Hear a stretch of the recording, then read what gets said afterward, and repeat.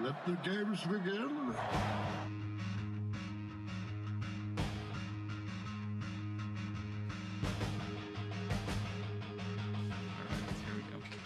Welcome to the 26th episode of Chronicle News Dump, where we run through the hottest topics in the Lewis County news scene and discuss. I'm local podcast host Aaron Vantile, joined as always by Lafromboise regional executive editor Eric Schwartz, and appearing on the podcast for the first time, Claudia Yaw. This is her tryouts for a spot on the regular podcast panel. To be clear, she did not ask to come here, Yeah, I was asked. nor do I think she wants to do this every Sunday night. But I am excited to be here. yeah, thank you for coming. Thank you, Bill. What was it Bill Sar? Who? Oh yeah, yeah, yeah. This was a Bill Saran, regular listener. Yeah. suggested that not only in the Facebook comments, but also made a comment on the podcast, and Love so we had to satisfy our one listener. And Yeah. here, here she is. Uh, it's Sunday, December 6th, and, well, friends, Lewis County is definitely ready to let 2020 go gently into that good night. Nothing newsworthy is happening in our fair county, and everything is calm. Yeah, you see all As the Christmas lights out there? It's peaceful. It's beautiful. Uh, Borst Park is lit up. Oh, it is. Uh, yeah, they're You doing their drive-through light show. Uh, they had signs out. It's I think five dollars a car. Oh. And that wraps it up for the news this week. All right, we'll see you on the 27th. Uh, let's see. First, I well, first of all, I would like to uh, shout out to a friend of mine, Ryan Stemkowski. It is his 38th birthday. Congratulations, Ryan. Good Eating for up you. valuable showtime here. Sponsors, Yeah. sponsors are not going to be happy. that plug was worth uh, 75 cents. Is he in, uh, listening? Will he sometimes. listen? I think sometimes he listens. Uh, our first item today we have 43 new cases of COVID uh, reported on Saturday. That's that's more than one or two. That is more than one or two. I think we had another 20 today, so that's a nice lower number. But 20 would have been outrageous, you know, a few months ago. Everybody would have been shocked by that. It's almost like this virus spreads exponentially. Mm-hmm. mm-hmm. It's almost like uh, everybody that was saying from the CDC director to the health uh, state health director that winter was going to be really bad. Like maybe they knew what they were talking about. Hmm. Curious. Well, Possible. you know what? Uh, if you trust science, then I guess you can believe those numbers. Uh, I myself prefer to believe in, uh, you know, my own hunches about medicine. Yeah, that's good. Hospitalizations, though, if you look at the Washington State dashboard, we're officially higher um, right now from COVID nineteen hospitalizations than we've been at any point. So, so things could get hairy. Deaths always lag behind too. So, Uh, yes. Well, you can't be dead and then hospitalized. yeah, it's very rare. it's very rare. I don't know how you think. I'm things glad we can laugh about a pandemic, Aaron. Uh, oh boy. Uh, speaking of things dying uh, more often than they should, Southern Power flips the switch on Skookumchuck Wind Charm, and birds are terrified. Wind farm, Wind yeah. charm. Wind, char- wind farm. Yeah, I did see a few commenters. Uh, that that story was pretty popular. He posted that today, and that's uh, Eric Rosane at the Nisqually Valley News. He's been covering that story exclusively. I don't think there's anybody else on it. well, Um, it's you know in that dead zone south of Rainier. yeah, I mean the Olympians just been in our dust on that one. um, but yeah, it's it's live now. Network's Um, gonna want plenty of coverage. I'm amazed that you can see that thing from Highway 12 down um, in you know more southern Lewis County. You can see it from Transalta. You can see it areas around Yelm. Mm-hmm. So it's got a it's got a footprint there. Uh, and what do we know anything else about the wind farm? Uh, a lot of, no, lot of that's turbines. it. That's all we know. Uh, Eric Rosane drives and takes out binoculars, and when he sees the turbines spinning, he determined that they were live. Aha. Uh, no, it actually went live on November 7th. Let's see what kind of factoids we got here. Um, it's 136 megawatts, 38 turbines. Um, so it's 38 turbines, but it's on 22,000 acres, and it's expected to power, provide enough power for about 30,000 homes. So. No, that's good. Transalta is a uh, is is 49% owner of this bad boy as well. Um, they finalized that. I think that's actually how we heard the the news that it was complete. So Uh, the thing about wind farms, like, can you ever really tell if the uh, the windmills are producing wind or just benefiting from it? I don't understand the question, Well, Claudia. like they spin around They're not supposed to make like a fan. wind. That's not their job. yeah, they're not they're not like cooling down Lewis County, Aaron. Gonna have to gonna have to see the brochures on how wind farms work. You're just That's waiting not for the the summer, so we'll have a nice stiff breeze. all yeah, turn those valley. bad boys on. Uh, Could have used them in smoke seasons. I'd like to hope you were joking, but I, I don't think you were. I think that's real. no scientist. Uh, all of the organizations behind that wind farm are being sued. Good time to remind people Oh. of that. Um, Jonathan Stringer, a Chehalis resident, actually died there in a trench um, after two collapses. And that was a super sad story because we got the documents and it was just harrowing. Uh, all the workers trying to dig him out could still hear him for several minutes. Um, Just just awful. Um, so that family is is suing. I think all the companies that are backing it, which there are several, um, and that's still working its way through the courts. So we'll continue to report on it. All right, and with that, we can jump into this week's uh, probably most talked about story. I think it's safe to say uh, the situation at Spiffy's, which has become a a situation. Some would call it ground zero for Patriots. Uh, yes, they would. So here's the brief explainer. Earlier this week, Spiffy's, which is a diner restaurant at is it 68 or 65? I always forget. 68. 68. Legendary pie, I've heard. Yeah. Yes, it's the everybody knows it. It's the Morton exit. It's how you get to Yakima. Popular spot. Anyway, Spiffy's announced that they would be staying open in defiance of Governor Jay Inslee's no indoor dining restrictions. Uh, and then I believe they like asked people to come. They kind of advertised this. I don't know. Maybe it's a good good time to hand it over to the reporter who covered yeah, it. it's tricky. Um, the owner, Rod Samuelson, said that those initial Facebook posts were not made by him. He um, kind of mused that it was probably customers in the restaurant who um, witnessed that first confrontation when L and I came in and essentially was scared off, run Uh-huh. out. Um, yeah, so I think it was just customers, and then it kind of reached other networks like People's Rights, um, groups like that, Mhm. who Call to action is what I kept seeing. call to action. Ah, yes. Yeah, yeah. Actually, in one of those photos, there was I don't know if you saw that sign. It said like text rights to eight one three five or something, yeah. and I I I did. texted it. I texted it, and it was a sign up for People's Rights. Well, how Ah, patriotic of you. I'm glad you signed up. Uh, so the next Some day, some read that call to action though, and I do this all the time, so I totally get it. No no hate for these people. Um, you think you re- reread one thing and it actually said something else, so they read call to arms and showed up at Spiffy's Yeah, uh, so- with uh, semi-automatic rifles, as one does when they're going to Spiffy's. Well, when I go out for pie, I make sure nobody takes that pie. Uh, I've read enough fables to know better. So the next day, a militia group showed up to stand around the parking lot with guns. Uh, at one point, they claimed and posted video claiming somebody tried to run them over. They pulled guns on that car. Uh, they chased off members of the local media. Uh, Claudia, were you there for that, or was that just Jared? Um, there were two different confrontations, and the first one it was me and Jared, and and that first. Jared is Nightcrawler, by the way. Nightcrawler for with, loyal with listeners. the beard, and and that was the first time where the guy with the beard came up and was like, "Put the camera up, put the camera up," Mm-hmm. and I turned into Mama Bear. He later told me. Uh-huh. um, but that was the first time we left, and then the second video I was not there for, where they literally chased him out and went up to his car and kind of surrounded him. That was a lot Um, scarier. It looked like. Yeah, that sounded like something. We have the audio of that. We will drop it in here. Hey, what the fuck were you told? I'm I'm leaving what right the now. fuck were you told? I'm leaving. You want right to keep that camera? Do ya? You know it's illegal for you to do that on private property, huh? Do ya? You better fucking leave. You better not come back. I'll have the cops on you. You hear me? What?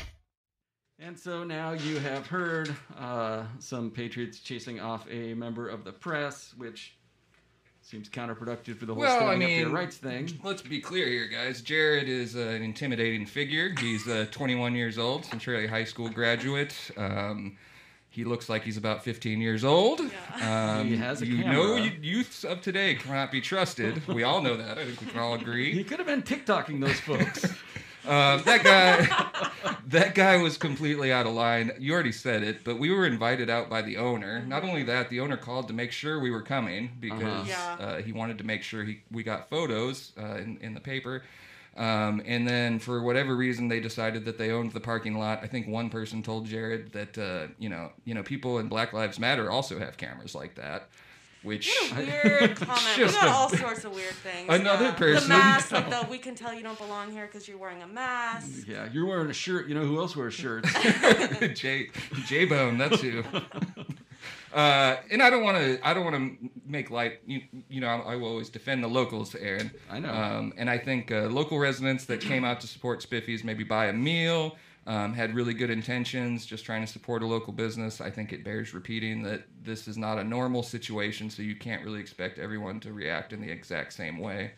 Um, having said that, uh, it did annoy me that Jared was treated with such disrespect um, when he was just there doing his job. Um, and, And, then I mean, a lot of these folks were not local. I feel Right, like that's what I mean. To, Yeah, to yeah. Note that you like, reported uh, that there- the People's Rights Group People's from Clark Rights County was brought Ammon about 20 Bundy's people new up. network, 16 states wide. This woman brought 20 people from Clark County. She said she drove an hour and a half. I'm sure several of these folks had never eaten at Spiffy's. I'm sure they had only heard good things about the food, and that's why they were there. I don't know. It was suggested to me um, by a local government official over the weekend um, that we should hire armed security for Nightcrawler on these types of situations. I mean, what kind of budget do they think this And operation has? Would you go, Aaron? I was there with my mace. I was like, go, I'm a photographer. I mean, I'll have to get some arms and. Um, he got some. Nightcrawler still got some great photos. I thought he always they're- does. they're He's a- Yeah, he got some good. he stuff. might not know where he is or what he's doing, but he'll he gets good images. Yeah, he does. Um, and then that you mentioned the car driving through. Um, that um, it, it did look like it was speeding through. I have no idea on the context of it. it was scary. yeah, Yeah. it was swerving around, um, and it and guns were drawn, as you can see on the photo that accompanies this podcast this week. Uh, if you're uh, if you're listening on chronline.com slash podcast. Um, but we had a commenter suggesting that Nightcrawler set that up, that he was the one that. Uh, Yeah. We the money to pay a Prius owner to. it wasn't a Prius. This is Prius Gate. by Oh, okay, Yeah. okay. He No, just that, assumed. it was that like a- also unfolded in the comments. It was like, Prius It was like owner a- must have known the Chronicle photographer. It's like a Chevy Volt. Yeah, they were doing it all as a stunt, driving through with the goal of getting guns drawn upon them so Nightcrawler could have a photo of it. Well, and didn't didn't that one commenter message Natalie and say like, "Oh, you guys are only reporting on the guns drawn, but here's this video of the car driving through." And Natalie was like, "That's our video. Yeah. We took that video. Like we're Yeah. we're reporting on all of it. Don't worry." That happens a lot. You'd be surprised too. People are will send us our own images that get pirated and like moved around the web. And why aren't you reporting on Why this, is the mainstream sir? media talking about it? Where do you We think it for came the from? production of that image. Oh my gosh. Uh, what's uh, so in your opinion? I'm sure you've looked into it a little bit, at least, Claudia. What happens next with Spiffies? Like, I mean, w- Mm-hmm. are we gonna have armed state patrol? no, it sounded like State Patrol had no immediate plan to come down here. Um, I think like the key to this is the fact that L and I, from what um, Tim Church told me, who is the spokesperson for L and I, um, they can continue with their investigation regardless of business cooperation.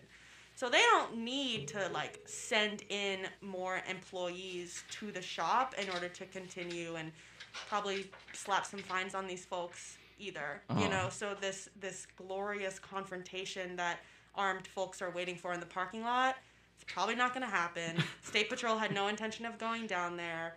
Um, yeah, so I think I'm assuming that people are going to get bored and they're going to leave and then there's going to be some consequences for the business.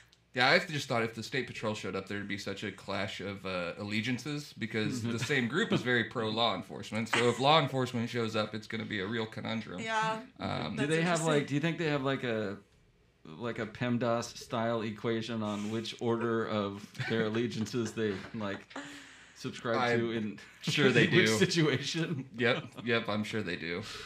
Something to think about. And uh, I know all of us in the, in, of the same opinion. I can speak for all of us just because we're so close. Uh, that you know we feel for local businesses. So I don't want any of this to be misinterpreted as I don't care about Spiffy's bottom line or whether or not they get to stick around or anything like that. It's, it's a really weird time. it's super weird. Yes. Um, this time last year, if you said there was going to be a semi-armed standoff at Spiffy's over shutting down based on Inslee's orders, I, I think you'd be laughed at.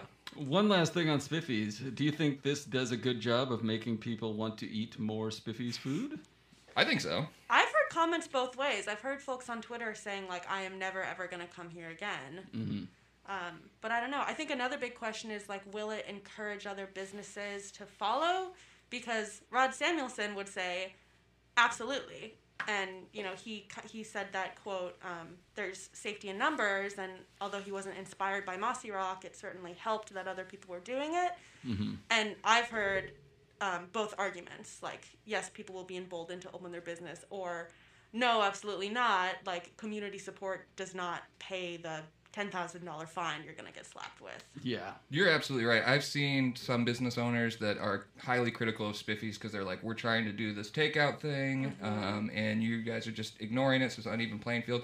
But then I've also seen, uh, I was at the Farm Boy in uh, Maytown. They they yeah, I think so. they uh, directly said we're doing this because Spiffies did it. Yeah. Um, likewise, over the weekend, uh, Cowlitz County News reported that uh, I can't name remember the name of the restaurant, but a similar family diner down there decided to open back up effective this morning on their regular schedule, and they also said Spiffies. So I think you're right. It's like a 50-50 thing. And while I like totally feel for businesses, I also feel for those businesses who are following the orders, doing their best, struggling, and then your peer is just flouting those. That would be incredibly frustrating. Yeah, Yeah. there's there's plenty of frustration to go around. Uh, speaking of people who are frustrated with the state's mandates, the Lewis County prosecutor and sheriff have said sent a wrote a letter. Uh, when was this? Thursday, Friday, saying the state should enforce the governor's COVID orders. Um, so the county's elected officials have essentially washed their hands of doing anything about the state mandates um, because they have enough going on and are too busy to do anything to enforce them. Um, so busy that they had to express this in a two-page letter to the governor, explaining how busy they are. Yeah, well, I mean, and not in their defense necessarily, but I think it bears repeating that I don't know of a jurisdiction, a law enforcement jurisdiction that is enforcing the mandates right now. I have not heard of the King County Sheriff's Office swooping in or anything like that. But what brought it, I think, was largely Claudia's reporting. Was you reached out to the governor's office, and the the governor's office kind of laid out, yeah, we asked the maybe Elle you I take over here. requested. L and I requested the, the sheriff's office to stand by. Yeah, and and what Mike Faulk with the governor's office told me was that that is. Um, uh, that's a long-standing practice. That is fairly normal for that request to be made. What is abnormal is for the sheriff's office to say, "We'll think about it." Jonathan Meyer, by the way, the prosecutor, spoke with him briefly on uh, another local broadcast. Let's talk about it on KELA on Friday. Oh, what time does their podcast He- go, go up? uh, every day, eight thirty, Monday to Friday. KELA. Let's talk about it with Peter Abbarno. Uh, mute you. But he, he noted that LNI has its own state troopers that are at their office and that work with them, and he thought that would be a better use. He also said it's not a break in precedent. Um, he was kind of defending himself, I think.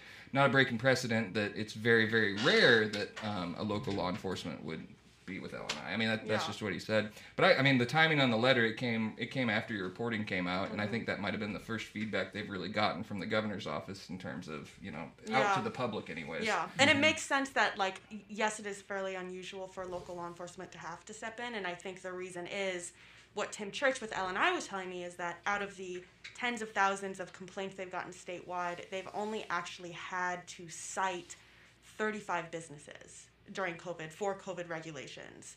So like it's just incredibly rare for this to happen in the first place.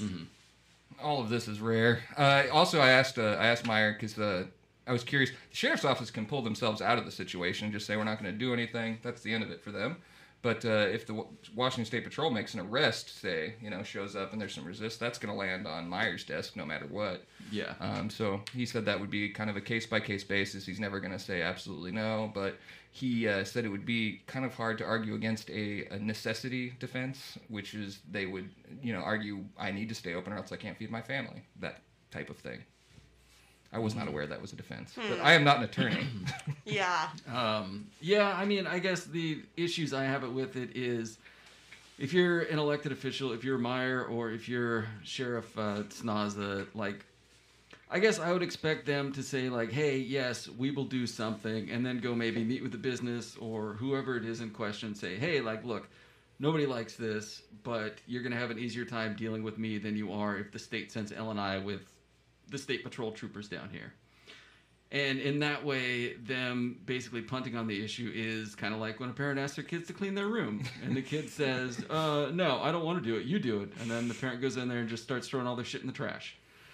And then the kid throws a fit and cries, and he's like, "How did this happen?" You're like, "Well, I mean, you kind of had a chance to mitigate things, and you Yeah. sat on your hands." And like, I, I don't know that that's going to happen. Maybe One- I'm way off there, but it seems like it would be a good example for our elected officials to go out and do something more than just say, "No, we, no, we can't." Yeah. One thing I do I was questioning was that letter to the governor's office of there hasn't been directive enough directive to local jurisdictions of how to enforce that. Mhm. I did question like what what sort of guidance or directions did you want for how to enforce a state law? Like isn't that pretty It, it standard? That's your job. I don't know. So I'm I'm really curious of like what what else would you have wanted? What sort of guidelines would be more helpful?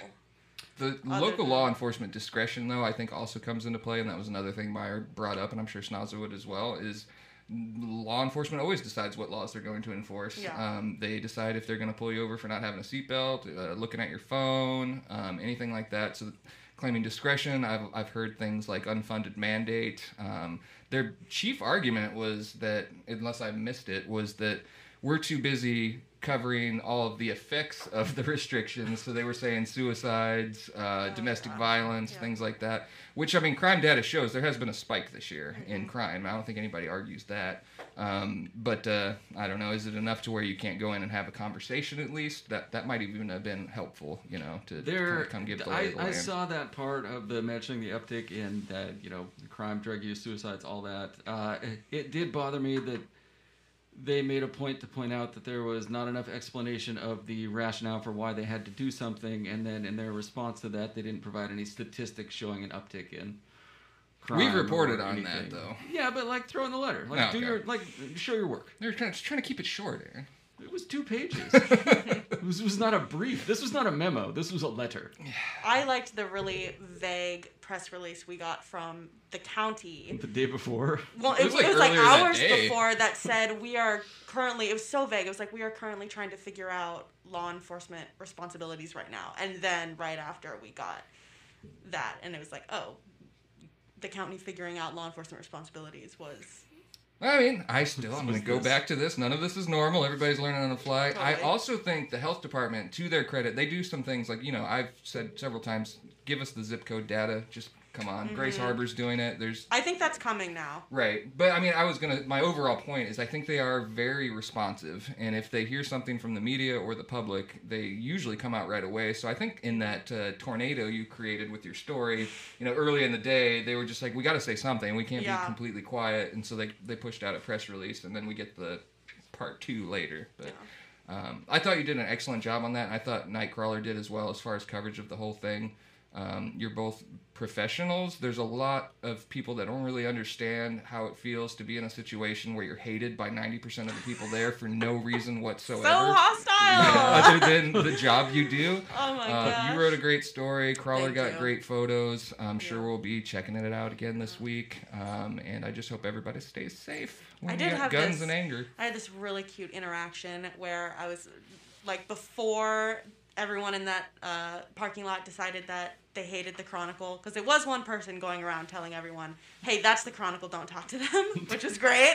We do lady. not want them to know what we're doing here. But I was talking to these two women, and they were like, well, well, we don't trust the media. We don't trust mainstream media. You're mainstream media, blah, blah, blah, blah. And I was like, okay, okay, okay, I'm leaving. And the lady, like, turned to me and she was like, hey, sister, I'm sorry. I know you're just doing your job. I just don't respect journalists. Oh, that's great. I was like, at least you leveled with me. It was kind of Yeah, at nice. least they were honest. I always just it feels like whining, and I did appreciate like even when Nightcrawler submitted the video of him getting berated and chased off the scene by a guy that had a gun across his chest uh, behind him. He didn't make it the focus. He buried it like a minute and a half into the video. Yeah. Excuse me, minute and a half into the video, and you never want to become the story at all. Yeah. Um, but it becomes very difficult when you're disliked simply for the fact you're a journalist, even though you live here, you work here. In Jared's Yeah. case, you went to school here, graduated here. This is more your home than it is their home. Yeah. And you're getting told to leave. And yeah, the private property thing, like in that first confrontation where I was just like, Jay, we need to go. Like, this is not worth it. This man has a gun in your face. And then afterwards, I was like, I just should have said, because he was saying, this is private property, this is private property. And I should have just said, yes, it is. It's the private property of Rod Samuelson. We know him. Do you know him? He asked us to be here. Like, oh, it would have been so good. We need to dress Crawler up next time as just a regular Lewis County diner eater, just he- he- heading in Get for him his a- pie, like he's got his camera in one hand and a pie in the other. Just get him like a worn out hoodie and a pair of sweats. Uh, some Instead Crocs. of his like bright basketball shoes. yeah, he stands out in the crowd. I've Well, told he's him so before, trendy. but he kind of looks like Antifa. I'm not gonna Uh, lie. Sure he does. That was All a right. joke, by the way. moving on, moving on from the events at Spiffy's of earlier this week. Uh, longtime Centralia homeless encampment may soon be displaced. Uh, local county and state officials, I believe, DOT and some uh, county It's commissioners. another Claudia Yaw joint, so why don't we ask her? All right, Claudia, you were there at the encampment. This is the Blakesley Junction encampment, I believe, at the end of Eckerson Road. Yes, the end of Eckerson. Um, and it's it's DOT property, and what they told me is that they have tons of these properties that are surplus, and they're trying to sell it, and they, they need the encampment gone. But what was so interesting about the story is that this is like such a long-standing encampment. People have been here, some of them for seven years. Um, it is really self-policed. Um, I loved the quote that Meja Handlen had. She's the housing coordinator for public health. Um, she was like to the sheriff's office, "I know that." Self-policing is an interesting concept for some people, but this encampment has a lot of self-policing, and there's this person, Chuck, who um, really manages a lot of the residents. There's 22, 23 of them, um, and make sure that people pitch in so they can haul their waste to the dump. And they have organized getting generators, and you know, you walk in there, and it is pretty organized, and there's fences, and it's it's structured. If you don't know the road name, this is where you drive under um, Interstate 5 On um, Reynolds. on Reynolds at the Blakesley Junction. Yeah. And that was actually what you just highlighted, is what I had thrown on the show notes here. Um, at the meeting, Handlen highlighted the uniqueness of this encampment. These are your words, Claudia, not mine. Uh, it's not made up of people passing through town, it's mainly locals who need to be connected to local services. And this might be the quote you mentioned These are our neighbors, and we need to figure something out. She said Handlen also noted that the camp is fairly organized. I know self policing is an interesting concept for people, but there's Yeah. more self policing here than other camps. Much of the camp's organization is thanks to Chuck Wygard, who lives on the far corner of the encampment, a small triangle of land that was sold for a dollar about a year ago. Yeah. So, and it's interesting that me just said these are locals and not people passing through. And I mean, she didn't mean that people passing through are less, you know, worthy of dignity or services or anything, but just that these folks, like, are staying here. They're from here, and like these are the folks that would be, you know, easiest to connect them with services because they're not on their on their way out Yeah. you know um so yeah it was like really sad because there's obviously a lot of clashing interests at that meeting dot wants this gone um You talked to you talked to Bart Gernhart, who is one of my favorite Oh, um, state employees. I have to say, I've known Wow. him since I was Ouch. in my early twenties, and he was our regional guy here. And I'll tell you, he'll always tell it to you straight up. He's not going to lie to you, Yeah. um, or try to put any sort of well government spin. dot's yeah straight up was we need to sell this property and people need to be gone um and the sheriff's department was talking or the sheriff's office was talking about how there's this big increase of like hundreds of calls coming in for like petty theft or suspicious person or whatever. Um, but like at the end of the day, there is just no housing. There's no yeah, housing. there's the the issue. It seems like is just like well, there's there's no place to put them. Yeah. That's what Gernhart said too. He said, "What we've seen over and over again, all they do is go over to another spot Mhm. because they have no place to live, which isn't good for them. Yeah, it's so not good for us, what's gonna happen. it's not good for the next set of neighbors. They are going to move somewhere else, and and, even sad. even shelter wise Um, there are some emergency shelters in the county that have a waiting list, so that's Mm-hmm. not a, a great option for these folks. And then there's the brand new nightly shelter at the fairgrounds, um, but that's not a great option for a number of reasons. I mean, like a main one is like Chuck said, a lot of these folks living here, it's their home. Like they have a lot of belongings that they wouldn't be able to bring. They have pets that they're not able to bring. Um, you get kicked out during the day, and then also the shelter. I didn't even. I guess I knew this in the back of my mind, but it ends in March. It's just gonna At be gone. Yeah, the you're talking about. fairgrounds. So Yeah. so you leave your home that you've been at for seven years. You give up all your stuff, and then in three months, you know, that's not really a solution. Yeah. And you're not going to find, I'll just straight up say it, you're not going to find a whole lot of sympathy in Lewis County, unfortunately. I, I do think that's unfortunately. Um, Yeah, but yeah. nine times out of ten, we post a story like this, and I think we'll find that in our Facebook comments of the week. That's why I and didn't read them. it's kind of way easier to kick down on these folks. Um, and eh, I've had uh, I've had friends who have been in the in a situation where they're homeless, and um, it wasn't from any decision that they made. Uh, maybe a collection of decisions they made over a long course of time, but it doesn't make them any less human. So um, I do feel I feel really badly for them. I don't have the answer though. I don't think people who kind of kick these people when they're down have answers. Um, obviously, the authorities don't have answers. Um, it's just kind of a crappy situation. And like something that kind of stuck out in my mind is everyone at that meeting was saying, "We oh my God, we're so empathetic. Like these people are human beings. They're community members."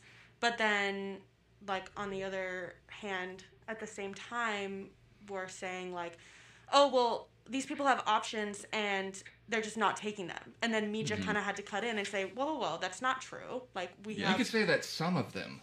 you Yeah. can say some of them have options. and so like a lot a lot of um like big general statements were thrown out that Meja and then Pastor Cole um oh gosh Meckel Michael, yep. yeah um kind of had to correct and say okay well actually this is a stereotype.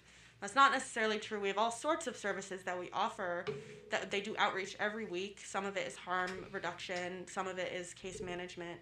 Um, so you can't really say oh there are opportunities out there and they're just not taking them you know? Yeah. and you can't say they don't want to be housed. Like even like there's just there's no housing you know? Mhm. so you can't even make that statement The response from sad. uh, a lot around here would be like to push them on down to another jurisdiction, and I, I think it's extremely sad because at a certain point, there's not another jurisdiction to push them to. There's Yeah. not. Yeah. That's I mean that's an inhumane concept in my mind, anyways. But um, yeah, no, it's just it's it's really sad, especially maybe they don't have a better place to go than that, and they've gotten so comfortable there and been there for so many years. Mm-hmm. Um, the soft-hearted part of me wants to say, well, just let them stay there. But the other hand, it's just I, I understand where WSDOT is at as well. So Totally. It's uh, there's no there's no good answer to it. At least not one that I have. there's Maybe no a easy answer to it. smarter person Yeah. out there can come up with it. Yeah. All right, our next topic on the list is a series of photos from Nightcrawler with the headline Protesters on the left and right make asses of themselves. this must have been from yesterday in Olympia? Yeah, was that's uh, to be clear. That is not a Chronicle headline. That is my headline that I threw Wow. on there. So I got an email late last night from uh, State Rep Vicki Kraft down in Clark County. As you know, we own the Reflector in Battle Ground. So Uh-huh. I asked the Nightcrawler, and he never has anything better to do on the weekends than shoot for me at the last minute. I was Um, like, Crawler, please take care of yourself this weekend. Do some self care. And then I saw those. I was like, bro. uh, and I want to be fair here. Anytime we go into protest ter- territory, as Aaron knows, we state our allegiance to protests. We are pro-protest until they become violent. Uh, Oh, look at that. It's your best friend Jim Walsh in the background of this one. Just or otherwise creepily- illegal. Well, Anyways, so I sent Crawler to it. It happened uh, Saturday morning from 11 a.m. to 1. And uh, the protest looked, uh, you know, what you would expect. I've got a woman here with a This mask the with the mouth reopened cut That out one was crazy. Oh my God. Here's a guy with a ponytail and a My Body, My Choice sign. Don't mock these people. This is Wait, can we just go back to the release the Kraken one? Can we go? Because that that's not even an argument of, hey, these lockdowns are hurting people, businesses are Yeah, suffering. that's about overturning the election. Which, Well, you know Oh. what? When you oh. call a protest of your very own, you can decide Wait, who is shows this a up. reference to? I thought that that was a reference to just like let the virus take its toll. No, No, at no, the no, no, crack no. is Oh. like somebody claimed they had. Uh, It's damning evidence Is it a of widespread issue? systemic voting fraud. Oh my god, I totally Yeah. misinterpreted that. I thought she was I like why the you're so crack is the virus now. and like just let it happen. And I was like, lady, tone deaf, holy I- crap. Here's another sign with the lady confused. that says Fauci says open schools. Uh, okay. He There's a did say that. He said close sign. bars, open schools in defense of they that would be sign. mad about that Right too, though. And they, you know, there's a picture here. This section reserved for masks and social distancing. See any masks in that in that photo? They hadn't arrived yet. Uh, we got a woman wearing a nightgown with a Q on it. Um, Oh, right. Oh. Um, no, part I want to say the protest was fine. They had a student talk about you know how there's a lot This of. guy in the suit with the AR-15 is just I, I'm not going to allow you, Aaron, to mock these people. Uh, there was. That one was wild. That one was wild because that's just like straight up. Oh, I'm really into violence. No, no. he looks like he's What is gonna the like reference run, there? you know, I'm gonna- 20 crates of I'm gonna reclaim this. That that photo that you're talking about was taken seconds after gunfire rang Oh, out in downtown. Olympia, and that guy was yelling at pedestrians. This is all according to Nightcrawler. Um, so maybe he had the best intentions in mind. And I do want to make sure I get on the record in this podcast that it's a perfectly fine protest. They Yeah. came to say they thought schools should be open. Yeah. Um, and then somebody got shot. lots of stuff like that. They don't agree with the restrictions. They think maybe there was other ways to deal with it, um, and uh, I, I know a lot of people agree with that. What I wanted to bring this up for was after this protest, there was a standoff in downtown Olympia, or I guess right across the street from the Capitol. Um, anti-fascists, I think I can call them that. That's what they're called in the cut lines. Um, were on one side of the street, and then it probably attendees of the rally were on the other side of the street, and they were just screaming at each other. The anti-fascists lit lit a flag on fire, um, which of course upset the rally goers. But they were both yelling insults at each other.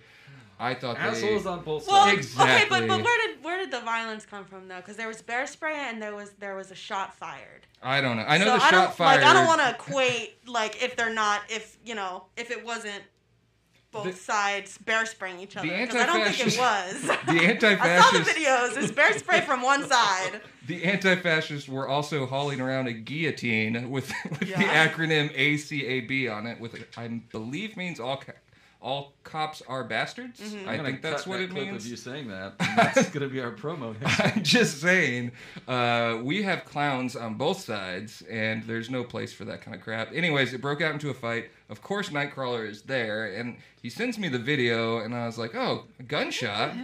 And then there was some uh, bear spray, and Crawler just runs right into the middle of it, as always. Well, bear spray doesn't affect him. He's been doing this for months. Uh, here's a photo of a woman dressed as the Statue of Liberty with a red wig on, painting goats. Maybe that's not a wig. Interesting. Painting brought, I I Who goats, brought yeah. goats to the protest? I don't Goats don't vote. Some would beg move to I know. I, differ. I heard some rumors. I heard some rumors. You see those shifty eyes on those goats. Uh, yeah. Uh, guy walking around with a gun in a suit. Uh, if you hear this, DM me and come on the pod. I have questions. right, because that's straight up just like a reference to like mobster movies. Yeah. Right. I'm also pretty sure I've seen Like this guy 20s. wearing the uh, softball helmet. and I'm sure it's a softball helmet, not a basket or a baseball helmet, just because it doesn't fit his head properly, and it's got a face mask on it. Um, if you're showing up to a peaceful protest in a bulletproof vest with a gun and a helmet on, it's like, what do you what do you really expect? Yeah. Like, I mean, that's what we saw at. Just think yeah. what he wears when he goes to get a pie. I don't know. And then you got this uh, truck with a Loren Cul- Culp sticker on it. Someone shattered the window and uh, wrote the word loser on the side. So, very mature behavior. got some folks with umbrellas. I don't know. I just want to say it's all at chronline.com, and I wish people would just stop acting like idiots. Can we all agree on that? Uh, yeah. Across I the board. so. Across the board. I mean, outside outside of this podcast, of course. Outside, of course. we retain our right to be idiots. Um, yeah, so cool. There's a photo essay on Chronline. Check that out. Uh, I promise next episode we will not spend five minutes talking about pictures you can't see. You know, I had to defend the people against you, Aaron. So, I'm sorry. True. All right, and now we break. I'm overruling whatever you're going to say. it's okay. Now we break for a segment called Better Know a Reporter with Claudia Yaw. Claudia, are you ready to be questioned about things that are not directly related to your job? I'm so ready. Yeah. Okay. Well, some of I'm them are directly stoked. related. Well, yeah, okay. All right. First question. Where are you from and how did you get to Lewis County? Um, I was a military kid, so kind of bounced around. I uh, went to school at UW in Seattle. Thought I was gonna continue to work at Trader Joe's after I graduated because not a lot of people were hiring in journalism. Uh huh. Um, but then I was offered this job and had like two weeks to find a place. It's funny the jobs you can get when Seattle Times employees are telling you how fantastic the employee is. So, Thanks, Joe. Thank you, Joe. you did an internship there, right? yeah, yeah, and worked with Joe O'Sullivan, who was awesome. Oh, okay. Who was great. Yeah, I learned a lot. Yeah, there's a yeah, there's a lot of questions you can ask when you're trying to hire a reporter. In my experience, Natalie hired you, Natalie Johnson, the editor. Um, but when when one of your references is a Seattle Times journalist, and they just say, "Yeah, she's great, hire her. You're stupid," you just do it. So it's a slam dunk. All right. So far, what is your favorite Lewis County town and why? Oh, um. Okay, I, I mean, I just re- I like Centralia. That's False. The correct answer was Vader. Uh, I was well, actually going to okay. go with I I was gonna say Chehalis because I live in Chehalis and it's really cute. Chehalis.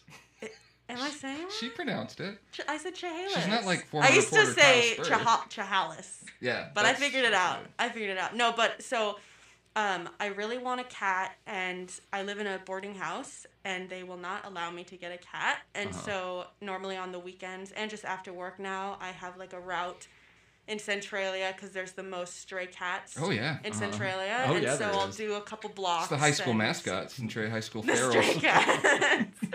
yeah, so that's why Centralia is my favorite. Okay. Do you regret accepting a job at the Chronicle? No, no, definitely not. uh, in your experience, who has the finest cuisine in Lewis County so far? Shona's, hundred percent. Oh, the, I is that also the British just have like, in I was curious. I, I want to learn oh, more. it's so good. I also have just like a huge crush on Shona. She's so cool. Okay. We, you can read about Shona at chronline.com slash business. Eric Trent feature. It's like You wrote a pricey, but sh- I think she she told me a couple months ago she's the only employee, so it's just her like busting her ass. Um, yeah, it's really really good. All right. Uh, what's your What's your favorite thing to eat there? She has these like lamb pies with this mint sauce. So Okay. good. So fancy. It makes me feel like I'm like in the countryside in think it's Scottish food. Just eating a baby sheep. yeah. Yeah, with, with mint chili on it. Um, all right. What's your beat, and what are your favorite topics to cover? Um my beat is county government, which is rad. And Oh yeah, nothing ever happens there. That's traditionally a very slow beat. um, I mean, right now my favorite topic is Spiffy's because it was really exciting to report on it this week. I, I blazed through all my CBD oil to calm myself down. Chronicle News Dump brought to I you by CBD so oil. anxious all week. um, no, but that was really fun. That was enjoyable. Anytime, anytime a story has like statewide significance is really fun. Um, and then also the dam has been really interesting. Um, I actually ended up like reaching out to my some of my old professors. Um, I had this environmental professor who like is so into dams and the history of dams and how they impact salmon and everything like that. Um, and there's it's so multifaceted. I've written like way too many stories on it, like 7 stories Oh, on the dam. either. Oh, yeah. there are a few- But it's it's really interesting. stories. Yeah. There's a photo that I have in my office um, from like the 1930s, and it's a local politician standing in front of it's a, a tombstone. The sign is a tombstone. It's shaped like a Uh-huh. tombstone, and it says uh, Chehalis River flooding, and then it had the dates, like as if they had solved it in the 1930s. Oh jeez. Yeah. got They've been working on it for so for long is the crazy Hubris. thing. Uh-huh, uh-huh. Yeah, it's any day now. And, and and like hearing stories about the 2007 flood. I I mean I was 8. Aaron So, called in don't- sick the morning of the 2007 flood. I- this is a fact. I will bring former editor Brian sick. Mitke. Coincidence? Mainstream media? Coincidence? Hmm. Uh, yeah, I was actually out there. Tomorrow's causing the December flood. 7th, and I want to talk to the Pearl Harbor Herald reporter Mm-hmm. who called in that morning and said, Sorry, boss. Got the The sniffles. one sick day I took in 15 years. Man. Yeah, the photos are incredible. And um, I haven't seen the flood book yet, but Commissioner Edna Fund was telling me that there's this like historic kind of table, Oh, that's our uh, book. coffee table book. Yeah. Yeah, we that get you a and, and she worked on it with the Chronicle. Yeah, and she, it's like, she was a proofreader for us. She is did it mostly photos point. or is it? Uh, yeah, I'll I'll get you a copy right as soon as we're done with this. But uh, no, it's got like all the front pages. It's got all the Yeah. coverage. Kind of works from the beginning to the end in real time. Yeah, Um, I should have already read that. It's, that's embarrassing. Yeah, it's really good. And Edna actually, I think her and Julie McDonald worked on it, our columnist. But there's a historical perspective in there that's Yeah. basically, you know, natives, uh, Native Americans have legends about how it floods around here all the Yeah. time. So it's uh, it's Yeah. almost as if we shouldn't have set up shop here. In that that is like the most incredible part of the story is these tribes saying hey we've lived here for thousands of years and we've figured out how to you know manage and how to be smart about it It's the train's fault. Um, Yeah. My understanding. That's what Commissioner Fund said. Was going to be our county seat, but then the, the trains decided they wanted to cut right through the valley. And Yeah. yeah. Look Big where that got railroad us. coming through. All right, and final question. Uh, describe the photographer Jared Wenzelburger, Nightcrawler, in three words.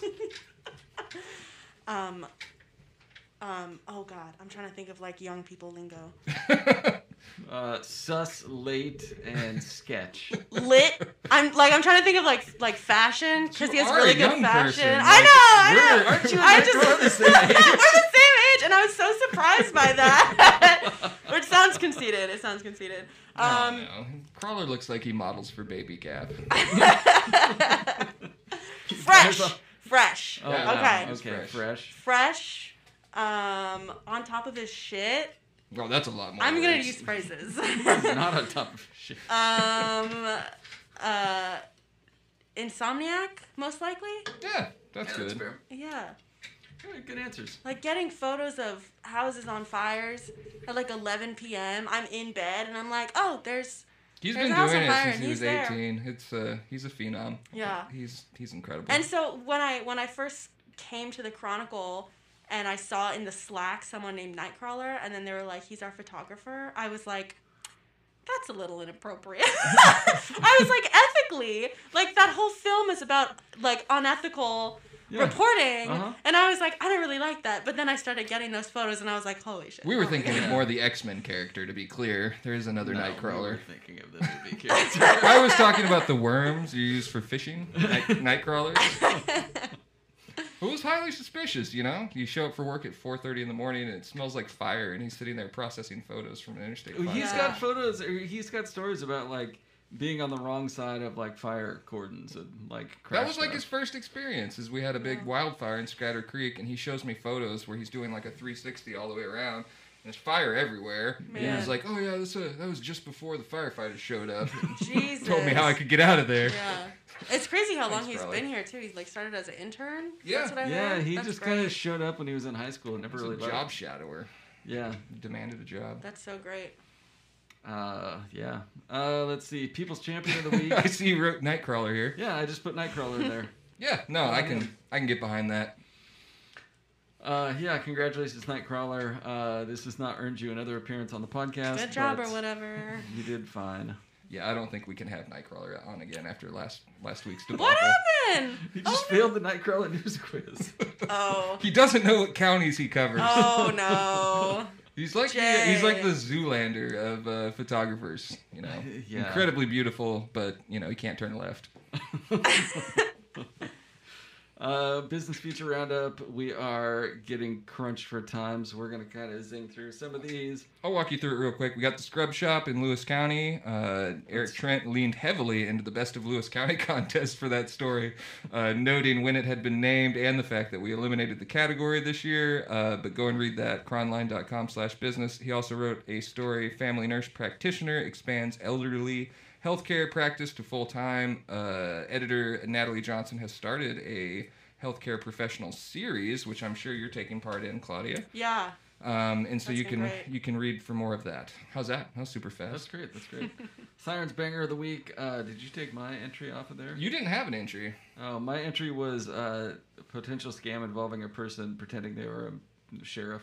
Yep, that, that Yeah. That was, that one was funny. Uh, this one is driver arrested on DUI charge after vehicle gets stuck on train tracks. We don't need to go into details. Uh, eh, that sucks. Yeah, her name's already in the paper. That happens a lot. Train tracks, big uh, big foe for the drunk drivers out there. Get hung up on those. Uh, just can't get out. Everyone yeah. that comes to visit me is so scared of them. Like people who Well, haven't there's lived a lot around of 'em. trains, they're like, "Oh my god, am I gonna get hit?"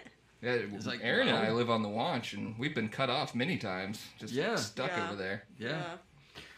Uh, let's see. All right, here we go. Facebook comments of the week. Uh, I will zing through some of these. Feel free to add comments if you'd like. Uh, this one is on Claudia on your story on uh, the homeless encampment. Uh, you can lead a horse to water, but you can't make them drink. Socialist Democrat want to give to Jesus the gimme. Christ. When men and wi- when men were men and women were women, they didn't rhyme. Ah! They got down in the dirt and worked. Ah! Valid opinion, Aaron. How dare you? Jesus. What a take. Uh, then the famous Kay, I didn't come here to argue with the ignorant. You are always up for a fight. Sad. Be well. Ooh, that Uh, sounds When- like a simmering beef. When Like men were and men forth. and women were women, you wouldn't have gotten that story because I wouldn't have fucking worked here. Oh, Like- man. I think that's our first F bomb, ladies and gentlemen. Sorry. Our first f bomb. I'm sorry. That makes me so Uh, mad. Uh, sponsored by CBD. This is why we haven't had any women on the podcast. Whoa! It was a long freaking time, guys. It was too long. You that guys- was bad. Did you miss the election night edition? Our editor is a woman. Why did it take so long? All right, here's some comments on the Uncomfortable anti territory, Aaron. on the anti-shutdown I can protest see you guys Olympia. getting nervous. Question for the Chronicle: How did your photographer know this was happening last night to take the video? Uh, he saw the Facebook post. I There was a press release. Uh, there you go. Uh, another comment. I want to come watch the fights break out. Front row tickets for free. I think yes. Redneck Rick versus Anarchy Adam Sunday at 4 p.m. PST. This is my last chance to mention what we were talking about outside before the podcast, Aaron, which is during the protest Yes, today. yes. I like to imagine Jay Inslee was wearing his robe and was out on the balcony with his binoculars and watching the protest unfold and just No, saying, he like was a- not. with a Trudi, you wouldn't believe what these people are saying about me. they want me in jail. He's just up there tisk tisk tisking. Not a damn mask in sight. I do like to imagine him like birding in the in the mansion he lives in. Yeah. He's like, isn't he like super outdoorsy? That's like his whole. Yeah, he's a, he's a fairly Thing. outdoorsy fellow. Yeah.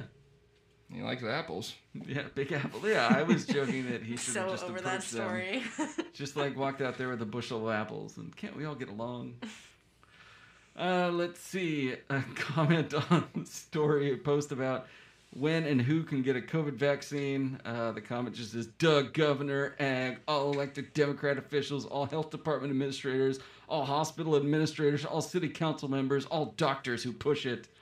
Uh, I, I don't know. They'll if he- all get it. He's, Was he's this right. person mad? I think so. I don't understand to what the complaint Like is. I don't know if he was complaining that like these are all the people who are pushing it or these are the people who are getting the vaccine because Oh. it makes sense that hospital administrators and like doctors would push a vaccine like that's Mm-hmm. that's their job I heard this was like all a conspiracy just so that they could make a vaccine for it. Curious, curious. They, as makes a, you think as a secret lurker in I'm the comments, saying. it could also be, and these are just possibilities I've heard by experts in the comment section, could be the mark of the beast. It could be an attempt to alter our DNA. Jeez. Um, or it could be a way of stopping the pandemic. I've read enough X-Men A, B, or C? comics. What's it going to be, Aaron? I've read enough X-Men comics to know that if they're altering DNA we're in for a lot of trouble Oh, good. Uh, let's see. We didn't even get to the Freedom Rally planned for Mossyrock on December 12th. So if you are in the mood for freedom, that's a place you can go. Uh, Yeah, Joey comments- Gibson of Patriot Prayer sent us an email at the Reflector to let us know about that. All right. Uh, let's see. So some of the comments there. There were 432 comments on this post.